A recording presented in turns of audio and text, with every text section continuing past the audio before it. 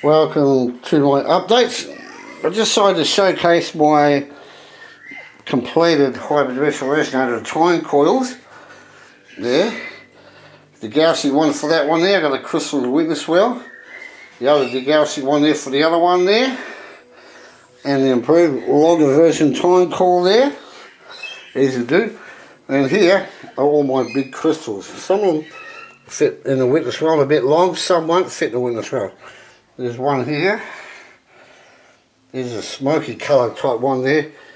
And I've got a couple there. This one here, there's a bit on the big side. That won't fit in the witness well, neither will that one too. But all these other ones here seem to fit in there alright. Including that one there. Beautiful. Flawless crystals. And that one there. Just fit in there. This little one here is perfect. And this one here it's got a slight smoky colour to it.